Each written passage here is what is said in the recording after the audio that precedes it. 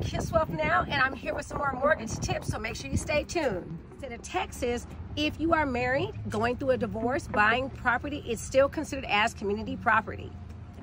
So in Texas, community property must be divided. There's several ways that property can be divided. One of the most common ways is selling a property, splitting proceeds. Another way is to co-own the property. And another way is to have that spouse buy out your shares.